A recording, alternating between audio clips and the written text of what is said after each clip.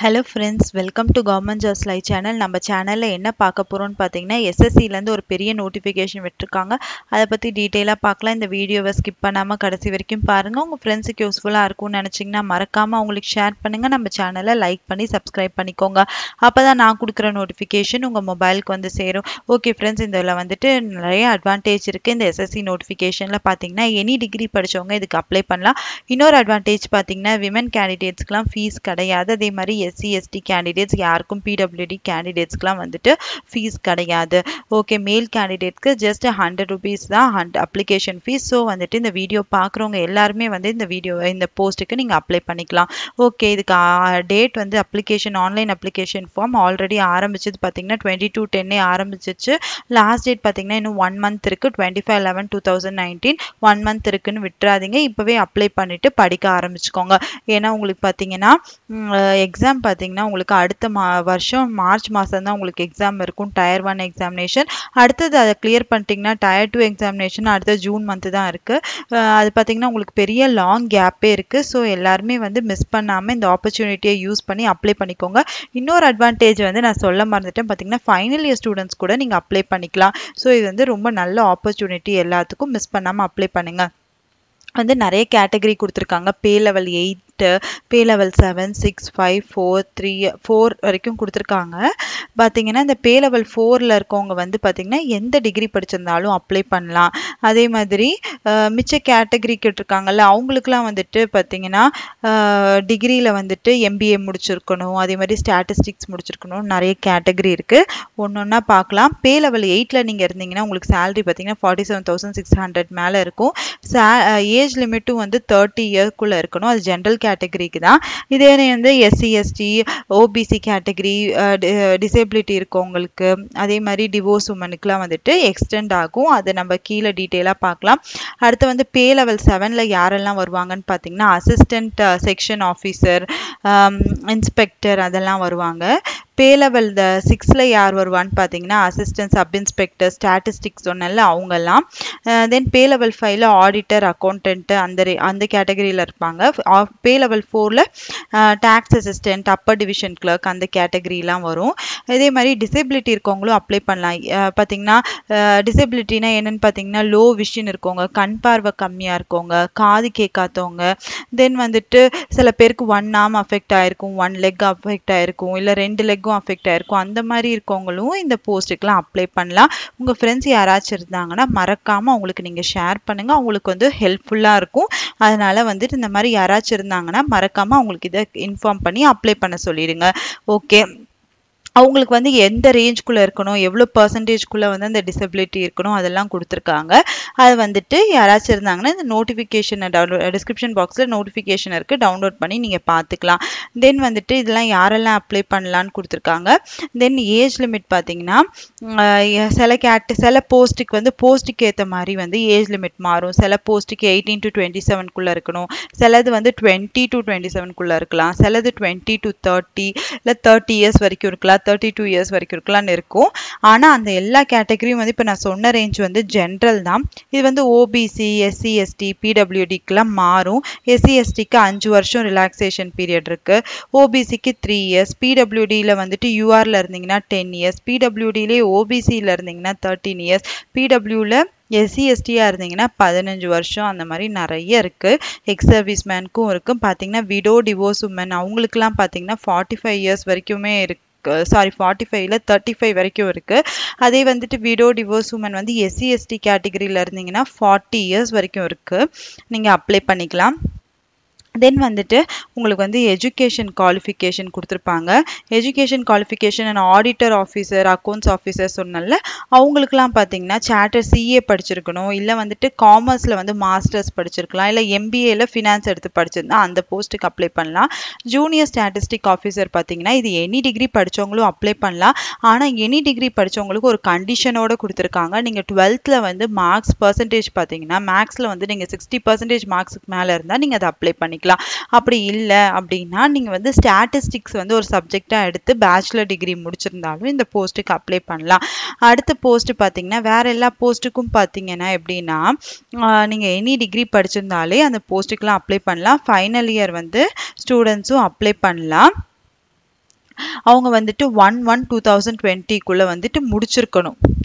அதாவது அந்த essential குவாலிஃபிகேஷனை fulfil பண்ணியிருக்கணும் ஓகேவா அவங்களும் அப்ளை பண்ணல.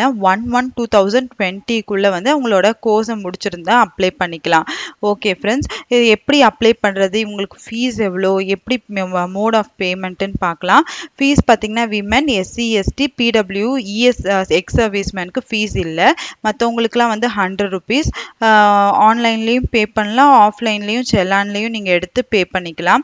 எக்ஸாமினேஷன் இப்போ சென்டர் பார்த்தீங்கன்னா எங்கன்னு பார்த்தீங்கன்னா சதர்ன் ரீஜியனில் தமிழ்நாடு புதுச்சேரியில் புதுச்சேரியில் சென்னை கோயம்புத்தூர் மதுரை சேலம் திருச்சிராப்பள்ளி திருநெல்வேலி வேலூர் அந்த மாதிரி பிளேசஸில் வந்து இருக்குது நீங்கள் வந்து ஒரு த்ரீ பிளேஸ் வந்து உங்களோட ப்ரையாரிட்டியில் கேட்பாங்க. நீங்கள் கொடுக்கலாம்.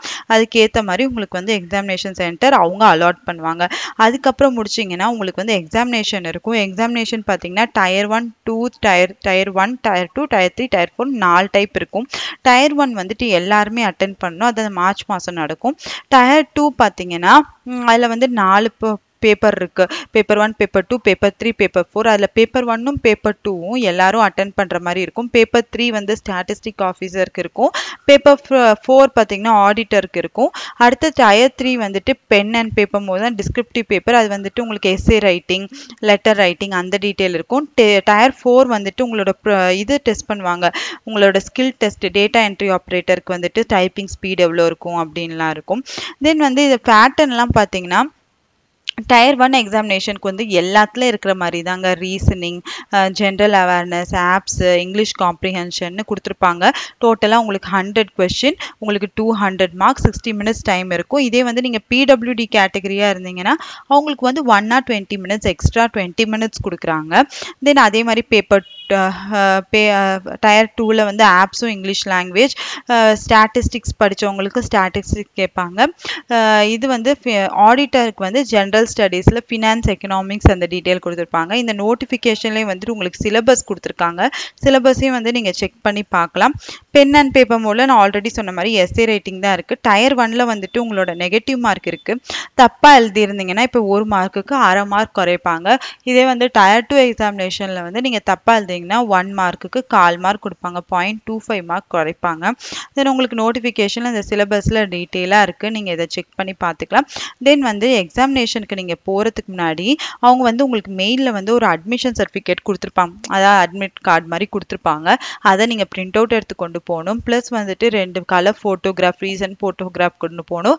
ப்ளஸ் ஒரு வேலிட் ஒரிஜினல் ஐடி ப்ரூஃப் கொண்டு போகணும். அந்த ஒரிஜினல் ஐடி ப்ரூஃபில் உங்களோட டேட் ஆஃப் பர்த் வந்து பிரிண்டாக இருக்கணும். லைக் ஆதார் கார்டில் பிரிண்ட் பிரிண்டாக இருக்கான்னு பார்த்துக்கோங்க அதில் இருந்தால் எடுத்துகிட்டு போங்க. Voter ID driving licence PAN card passport இல்லை காலேஜஸ் யூனிவர்சிட்டி இல்லை ஸ்கூலில் கொடுத்த ஐடி கார்டும் நீங்கள் கொண்டு போகணும். ஆனால் வந்து ரீசெண்டாக இருக்கணும். பழசுலாம் எடுத்துகிட்டு போகக்கூடாது ரீசெண்டாக நீங்கள் படிச்சுட்டு இருக்கீங்கன்னா அதை கொண்டு போங்க.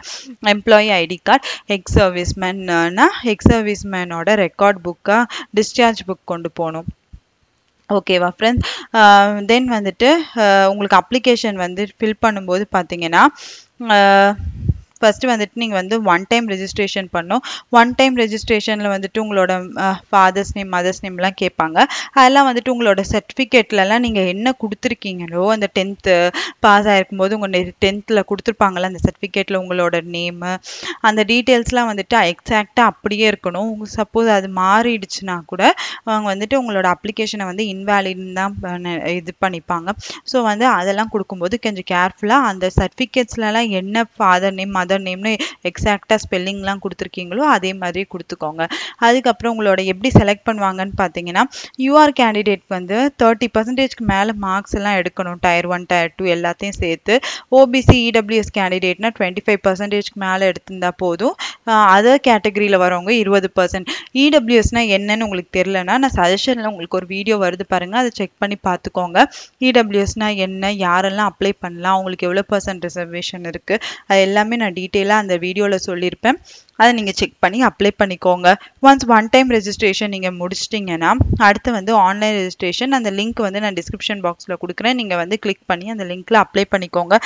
அது அப்ளை பண்ணும்போது உங்களுக்கு ஏதாச்சும் டவுட் வந்துச்சுன்னா கமெண்ட் பாக்ஸில் எனக்கு கமெண்ட் பண்ணி கேளுங்க. நான் உங்களுக்கு ரிப்ளை பண்ணுறேன் பார்ட் டூ தான் ஆன்லைன் அப்ளிகேஷன் ஃபார்ம் இதுக்கப்புறம் இந்த நோட்டிஃபிகேஷன்லேயே வந்து உங்களுக்கு முக்கால்வாசி தெளிவாக எல்லா டீட்டெயிலும் நான் கொடுத்துருக்காங்க. உங்களுக்கு எதாவது டவுட் இருந்தால் கூட நீங்கள் கேளுங்க நான் உங்களுக்கு ரிப்ளை பண்ணுறேன் ப்ளஸ் வந்து இப்போது வந்து எஜுகேஷன் குவாலிஃபிகேஷன் ஃபில் பண்ணும்போது நீங்கள் டிப்ளமா இருந்துச்சு டிப்ளமா படிச்சிருந்தீங்கன்னா ஜீரோ ஃபோர் கொடுக்கணும். இல்லை பிஏல பிஏ படிச்சிருந்தா ஜீரோ ஃபைவ் அந்த மாதிரி ஒரு ஒரு டிகிரிக்கும் ஏற்ற மாதிரி சைடில் வந்து கோடு கொடுத்துருக்காங்க. பிஇ படிச்சிருந்தா தேர்ட்டீன் பிடெக்னா ஃபோர்டீன் பிஎஸ்சி வந்து பிஎஸ்சிக்கு சிக்ஸ்டீன் பிசிஏ செவன்டீன் அந்த மாதிரி. கோட் கொடுத்துருக்காங்க. இந்த கோடை தான் நீங்கள் ஃபில் பண்ணணும். அது வந்து இந்த நோட்டிஃபிகேஷனில் லாஸ்ட்டில் இருக்குது நீங்கள் அதை வந்து நீங்கள் பார்த்துக்கலாம் சில போஸ்ட்டுக்கெலாம் பார்த்தீங்கன்னா ஃபிசிக்கல் ஸ்டாண்டர்ட்ஸும் கேட்டிருக்காங்க. சில இன்ஸ்பெக்டர் போஸ்ட்லாம் இருக்குது அதில் வந்து மேல் கேண்டிடேட்க்கு ஹைட் எவ்வளோ இருக்கணும்? செஸ்ட் எவ்வளோ இருக்கணும்? ஹைட் பார்த்தீங்கன்னா fifty seven point five centimetre இருக்கணும். அது மாதிரி ஃபீமேல் கேண்டிடேட்க்கு ஒன் ஃபிஃப்டி டூ சென்டிமீட்டர் இருக்கணும். இதெல்லாம் கொடுத்துருக்காங்க. என்ன இந்த கீழ் பின்னாடி அப்ளிகேஷன் முடிஞ்சு நோட்டிஃபிகேஷன்லேயே அனெக்ஷர்னு சொல்லி கொடுத்துருக்காங்க. இல்லை நீங்கள் செக் பண்ணி நீங்கள் வந்து பார்த்துக்கலாம் ஓகே ஃப்ரெண்ட்ஸ் இது உங்களுக்கு யூஸ்ஃபுல்லாக இருந்துச்சுன்னா மறக்காமல் லைக் பண்ணுங்கள் உங்கள் ஃப்ரெண்ட்ஸுக்கு ஃபார்வர்ட் பண்ணுங்கள் டவுட் இருந்துச்சுன்னா கேளுங்க. Okay friends all the best bye